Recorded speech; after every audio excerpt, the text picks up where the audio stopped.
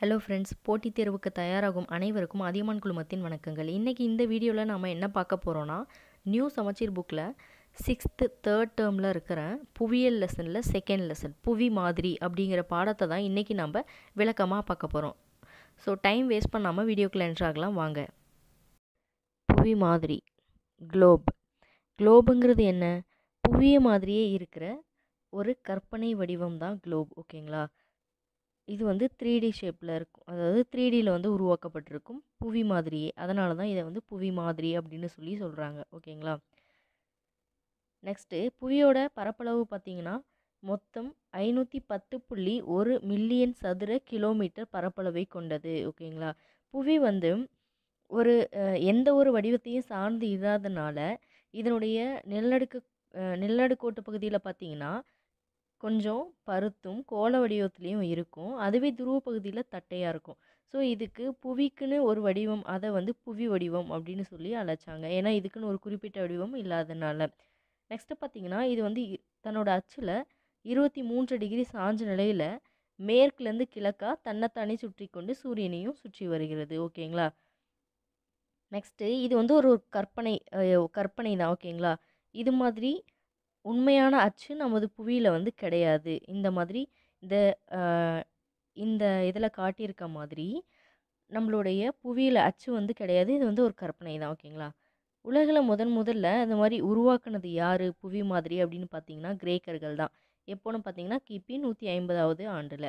ஆரியப்பட்டர் அவர்கள் இந்திய வானியலறிஞர் ஆரியப்பட்டர் அவர்கள் வந்து ஆரியப்பட்ட சித்தாந்தம்னு ஒரு நூல் எழுதியிருக்காரு. அதில் விண்மீன்கள் வானில் மேற்கு புறமாக நகரத்துக்கு ரீசன் என்ன அப்படின்னு சொல்லியிருக்காருன்னா புவி தன்னோட அச்சில் சுற்றிக்கொள்றதுனால தான் இந்த மாதிரி விண்மீன்கள் மேற்கு புறமாக நகர்ற மாதிரி நம்மளுக்கு தெரியுது அப்படின்னு சொல்லியிருப்பாரு.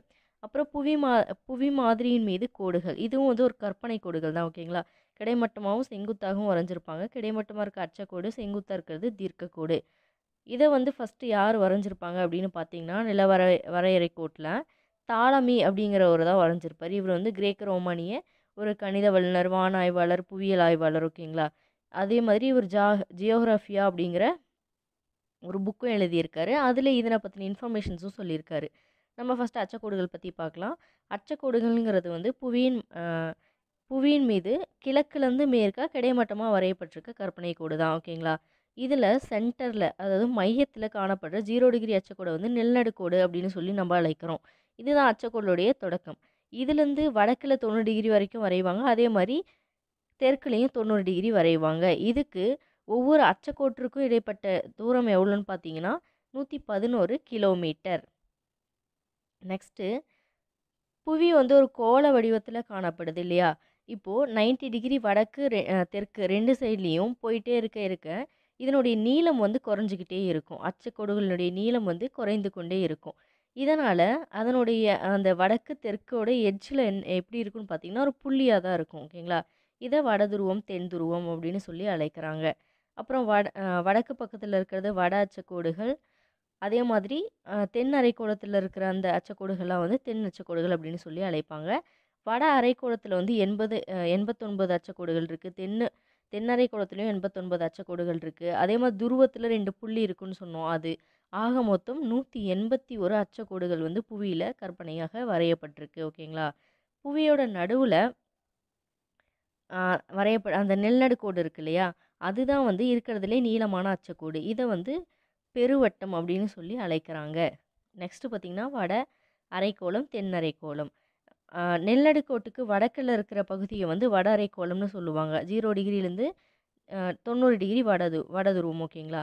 அதே மாதிரி இது தென்னரைக்கோளம் வந்து ஜீரோ டிகிரி நிலநடுக்கோட்டிலேருந்து தெற்கில் தொண்ணூறு டிகிரி வரைக்கும் இருக்கிற பகுதி ஓகேங்களா? நெக்ஸ்ட்டு முக்கிய அச்சக்கோடுகள் எதெல்லாம் அப்படின்னு பார்த்தீங்கன்னா நம்மளுடைய புவி வந்து இருபத்தி மூன்று டிகிரி சாஞ்சு இருக்கிறனால சூரியனுடைய கதிர்கள் வந்து அது மீது எல்லா இடத்துலையும் ஒரே மாதிரியாக விழுறதில்ல.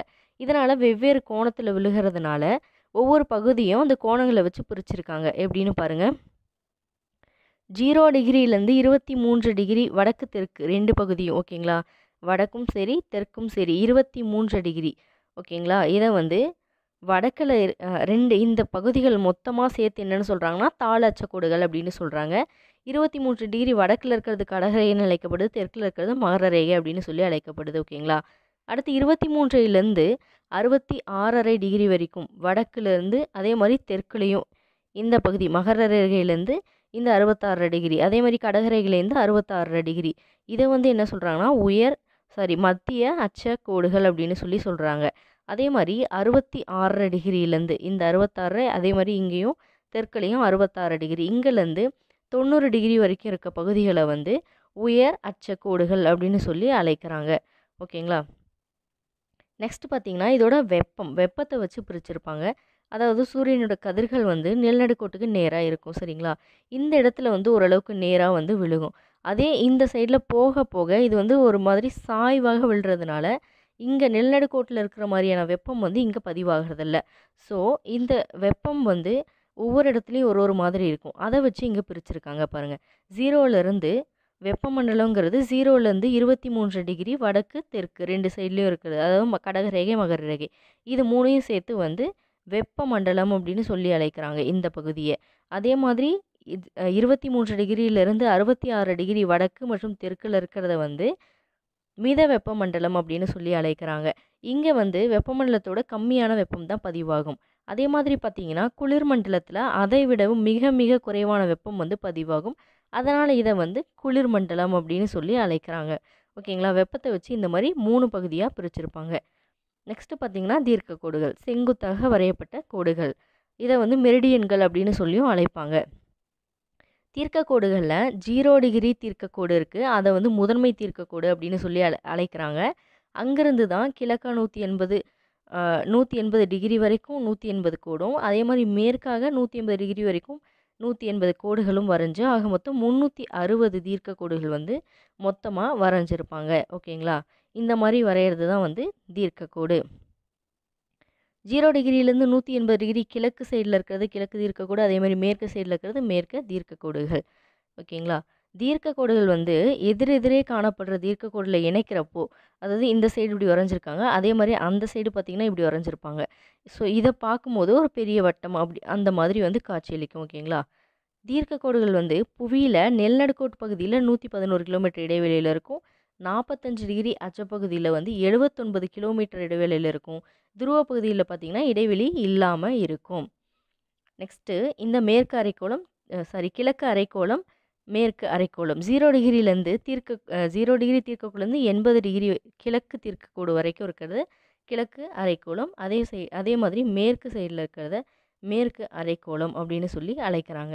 இப்போது முக்கியமாக எது எதெல்லாம் தீர்க்கக்கோடுகள் இருக்குதுன்னு நம்ம பார்க்க போகிறோம் க்ரீன் விஷ் தீர்க்கக்கூடு. க்ரீன் விஷ் தீர்க்கக்கூடுங்கிறது ஓரளவுக்கு ஒரு ஓரளவுக்கு தெரிஞ்சிருக்கும். இதை டீட்டெயிலாக கொடுத்துருக்காங்க பாருங்கள் இங்கிலாந்து நாட்டில் லண்டனுக்கு அருகில் க்ரீன்விச் அப்படிங்கிற இடத்துல ராயல் வானிலை ஆய்வு மையம் இது வந்து அமைஞ்சிருக்கு.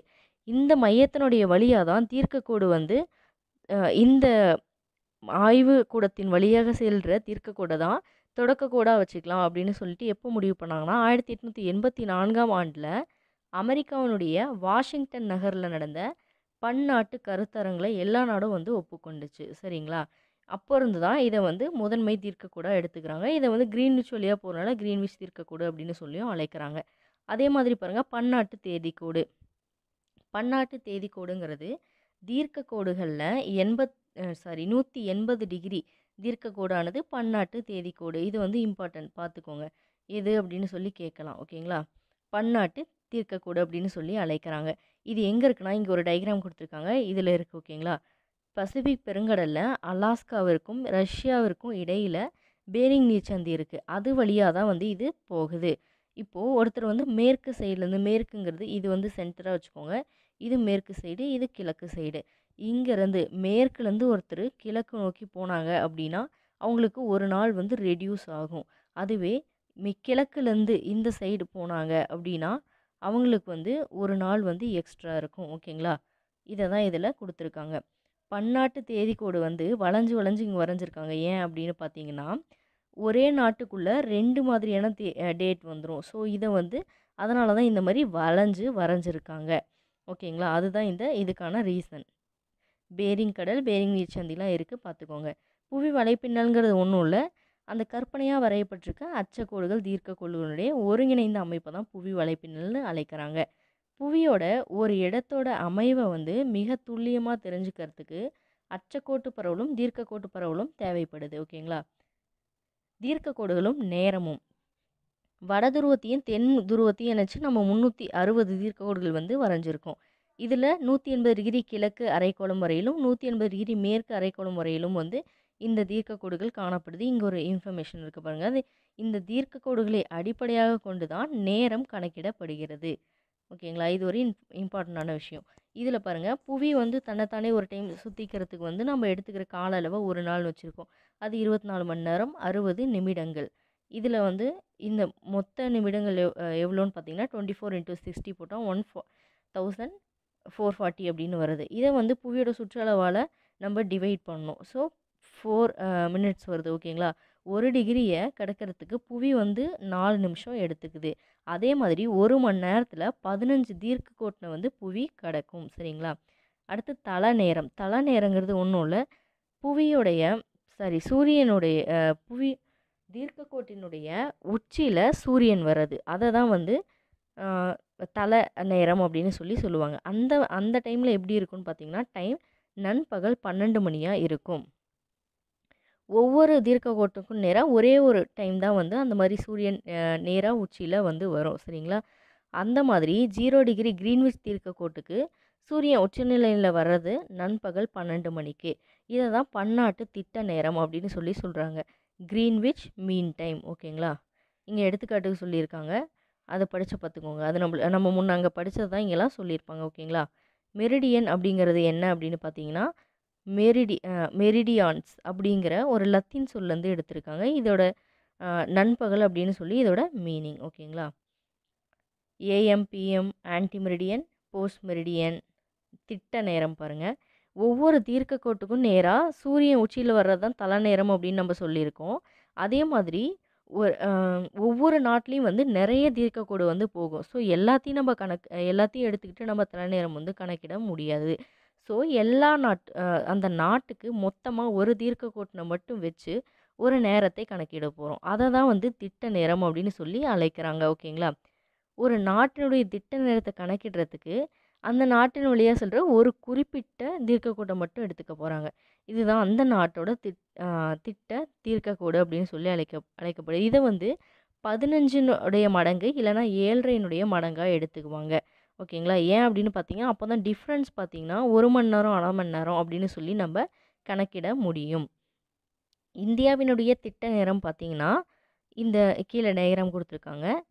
குஜராத் அருணாச்சல் பிரதேஷ் இந்த ரெண்டுக்கும் இடைக்கிற இடைப்பட்ட பகுதி. அதே மா அதே மாதிரி இங்கே தெற்கு வடக்கு இந்த ரெண்டு பகுதியை இணைச்சு அதுக்கு நடுவில் வர இந்த இடத்துல இருக்கிற சாரி இந்த இடத்துல இருக்கிற பகுதியை தான் வந்து நம்ம திட்ட நேரமாக எடுத்துக்கிறோம். ஓகேங்களா? எண்பத்தி ரெண்டரை டிகிரி கிழக்கு தீர்க்க கூட்டணி ஆதாரமாக நம்ம கொண்டு நம்மளுடைய இந்திய திட்ட நேரம் வந்து கணக்கிடப்படுது. ஓகேங்களா? இது எங்கே போகுதுன்னு நீங்கள் சொல்லியிருக்காங்க பாருங்கள் இந்தியாவில் கிடைமட்ட பரவலில் மேற்கில் குஜராத்லேருந்து கவுர்மோட்டா அப்படிங்கிற இடத்துலருந்து கிழக்கில் அருணாச்சல் பிரதேசில் கிபித்து அப்படிங்கிற இடத்திற்கும் சமதூர இடைவெளியில் உத்தரப்பிரதேச மாநிலம் அலகாபாத்தில் இருக்க மிர்சாபூர் அப்படிங்கிறது இடத்தினுடைய வழியாக தான் இந்த எண்பத்தி ரெண்டு டிகிரி கிழக்கு தீர்க்கக்கூடு வந்து பயணம் செய்யுது சரிங்களா? உலக நேரமண்டலம் பாருங்கள் உலகத்தில் மொத்தம் இருபத்தி நான்கு நேரமண்டலங்கள் இருக்குது ஒரு சில நாடுகள் வந்து பரப்பளவில் நீண்ட நீண்டு காணப்படுறதுனால அதுக்கு நிறைய நேர நேரமண்டலங்களும் வந்து இருக்கும். உதா உதாரணமாக ரஷ்யாவுக்கு வந்து ஏழு நேரமண்டலங்கள் இருக்குது அப்படின்னு சொல்லி கொடுத்துருக்காங்க. ஓகேங்களா?